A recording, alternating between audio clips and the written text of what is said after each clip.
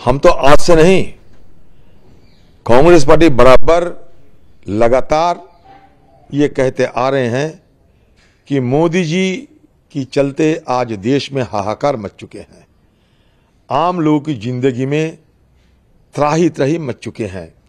क्योंकि रोज़ाना रोज़ाना ये सरकार की एक काम बन गए, आदत बन गए कि पेट्रोल और डीजल की कीमतें को इजाफा कराओ। पेट्रोल, डीजल, रसोई गैस की कीमतें में अगर इजाफा हो, इससे सबसे ज़्यादा बुरा असर किस पे होते हैं? आम लोगों की हर चीज़ की खरीदारी में मतलब बाज़ार में। क्योंकि सारे चीज़ ट्रांसपोर्ट करते हुए जब बाज़ार आते हैं तो पेट्रोलियम पदार्थ की कीमतें बढ़ने से इसका सबसे बड़ा और बुरा असर होते हैं बाज़ार पे।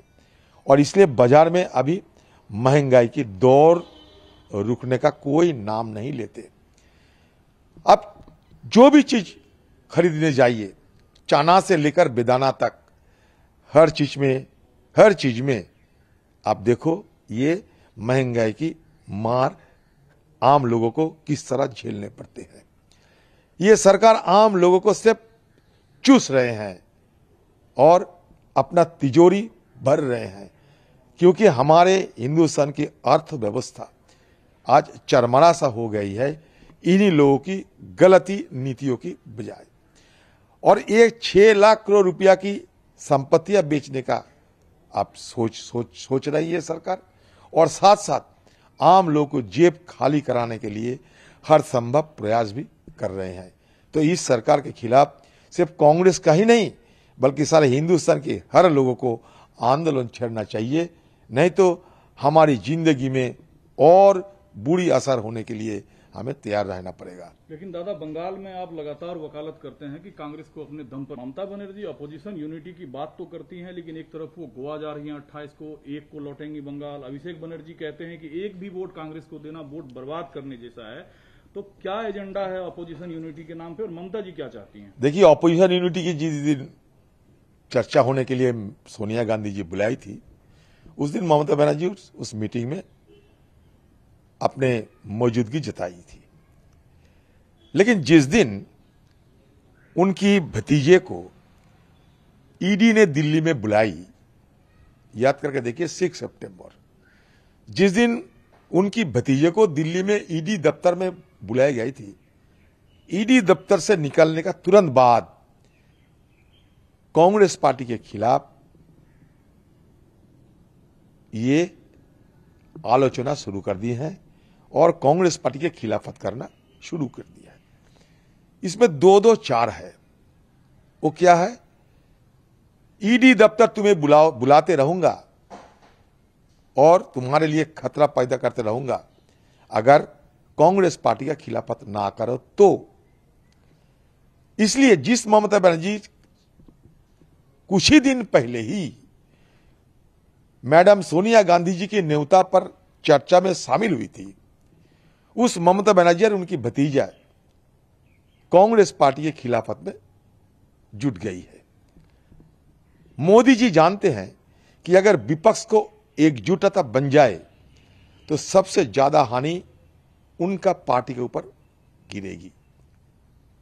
क्योंकि आप अगर देखो तो पिछले 2019 साल की जो चुनाव हुई थी, मोदी जी की ज़रूर उसमें जीत हासिल हुई थी, लेकिन हिंदुस्तान की सैतीस प्रतिशत वोट उन्हें मिली थी। इसमें ज़ाहिर क्या होते हैं कि विपक्ष के पास तिरसठ फ़ीसद वोट है। इसका मतलब विपक्ष अगर एकजुट हो जाए तो मोदी जी की हार निश्चित है। मोदी जी इसलिए विपक्ष में अपना खाई बनाने के लिए पुरजोर कोशिश कर रहे हैं। विपक्ष को भेद करने के लिए उनका कोई कसर नहीं छोड़ने वाला है। और इसमें सबसे ज़्यादा मददगार बनते जा रहे हैं ममता बनर्जी। आप देखिए, विपक्ष पार्टी के साथ जो सैतीस फ़ीसद वोट है, तिरसठी फ़ीसद वोट है इसमें कांग्रेस पार्टी की हिस्सा 20 प्रतिशत और टीएमसी पार्टी का हिस्सा 4 प्रतिशत।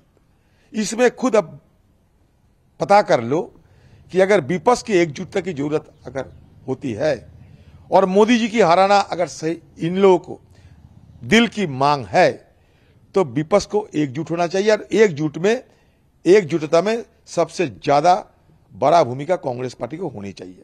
फिर भी हम लोग कभी ये नहीं कही कि भाई कांग्रेस पार्टी के हम सबसे आगे रखने के लिए हमारा कोई शर्त है। ये नहीं, हम चाहते हैं कि सारे विपक्ष एकजुट हो और मोदी जी को सत्ता से निकाला जाए। इसमें सबसे ज़्यादा मोदी जी को पक्ष रखता है कौन अभी? ममता बनर्जी। क्योंकि कांग्रेस को कमज़ोर करने का मतलब ये होते हैं, विपक्ष की जोट कमज़ोर होना। विपक्ष की जोट जब जितने ज़्यादा कमज़ोर होगी, उतने ज़्यादा ही मोदी जी को नाफा होगी। तो आज ममता बनर्जी बीजेपी की मदद करने के लिए कांग्रेस पार्टी के खिलाफत करते हुए नरेंद्र मोदी जी की दलाल बनते जा रहे हैं। ये दोनों के बीच लगता है कोई करार बन चुके, हो हो चुके हैं कि दिल्ली हमारा और कलकत्ता तुम्हारा। नहीं तो ऐसा बे बुनियादे बातें करना, ऐसा फिजूल बातें करने की कोई ज़रूरत नहीं होती ममता बनर्जी की, क्योंकि कुछ ही दिन पहले ही, ज़्यादा दिन है, देखो, एक साथ मीटिंग की, मैडम सोनिया गांधी से मुलाकात की, और एक साथ लड़ने की शपथ भी ली। ये इनकी दो मुहिया रवैया आम लोगों को सामने स्पष्ट है। दूसरा सर, देश के गृह मंत्री कश्मीर में है, जम्मू कश्मीर परिसीमन, जो डिलिमिटेशन है, वो होगा, चुनाव भी होंगे, स्टेटहुड का दर्जा भी दिया जाएगा, और कश्मीरी युवा से वो जुड़ना चाहते हैं, दोस्ती करना चाहते हैं। देखिए 2019 साल में ये वादा किया गया था कि हम जल्द से जल्द कश्मीर में राज्य की दर्जा देंगे और फ़िलहाल कश्मीर को हम टुकड़ा कर रहे हैं। टुकड़े करने की ज़रूरत इसलिए है कि कश्मीर से आतंकवाद को हमें खत्म करना है।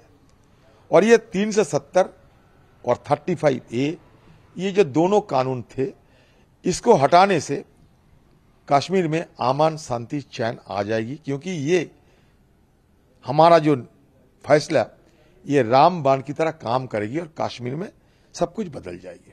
नौकरी मिलेगा, काम धंधा मिलेगा, सैलानियों को की सैलाब लग जाएगी और तरह तरह की बयानबाजी तरह तरह की उम्मीद भरे बयानों पेश ये सरकार ने किया था।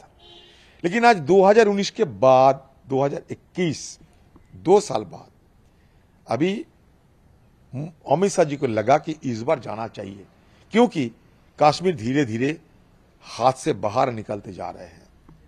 अभी तक कोई जवाब नहीं मिल रहा है हमें कि पुंछ एरिया में, सुरानकोट से लेकर मेंधर तक, चौदह दिन हो चुके हैं, अभी तक वहाँ की जो मिलिटेंट जिनके साथ संघर्ष हुई थी हमारे सुरक्षा बलों की।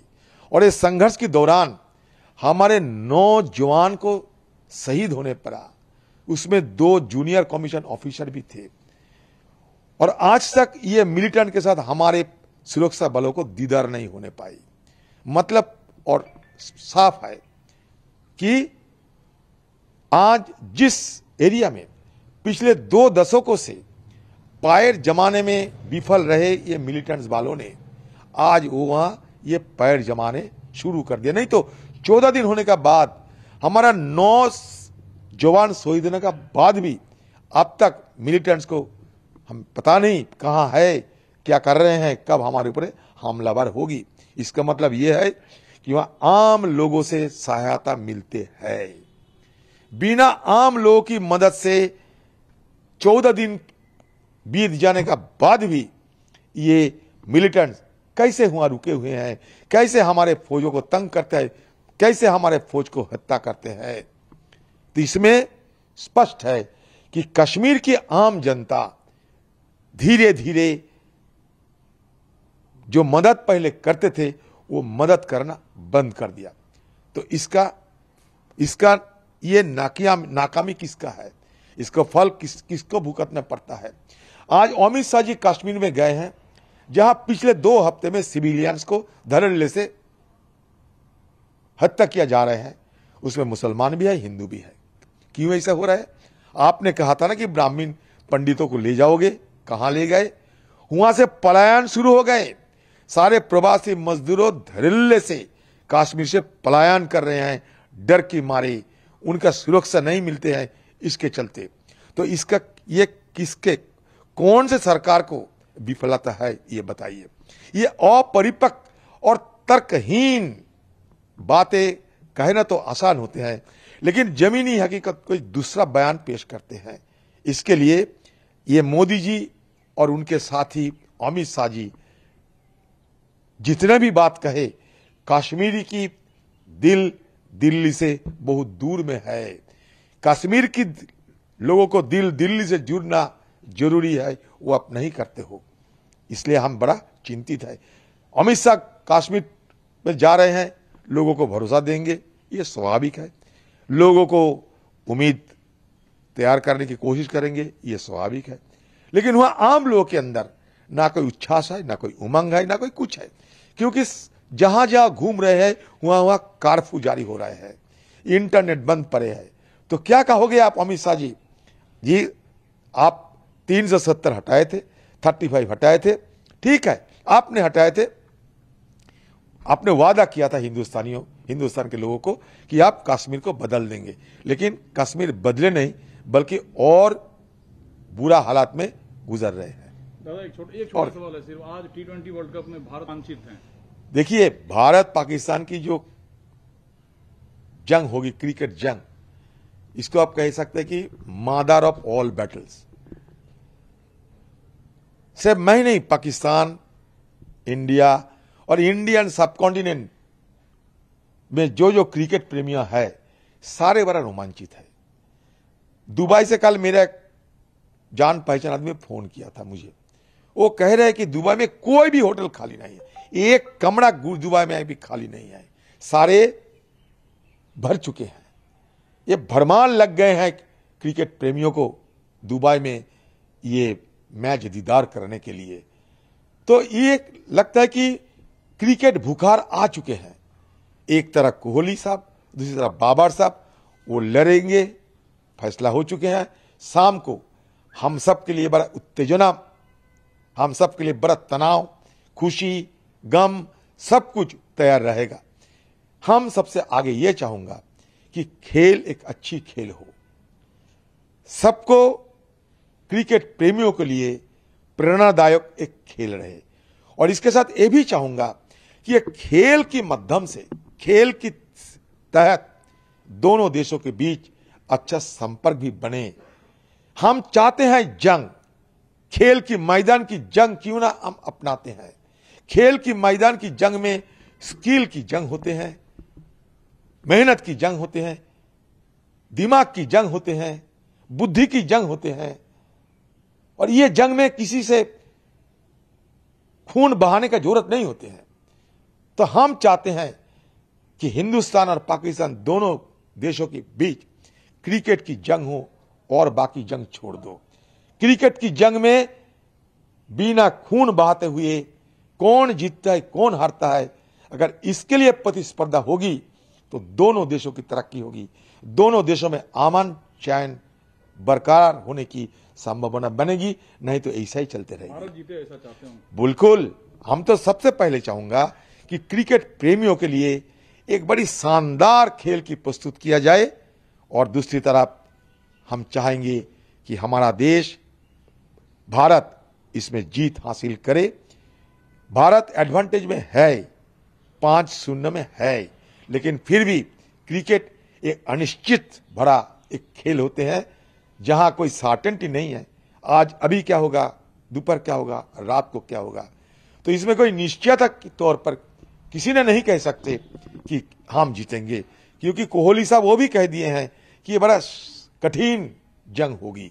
तो चलिए, सब मिलके आज शाम को क्रिकेट प्रेमियों के लिए और सारे देशवासियों के लिए एक नया शाम एक खुशहाल भरी शाम एक आनंद भरी शाम हमें उपहार मिले ये ज़रूर हम चाहूँ।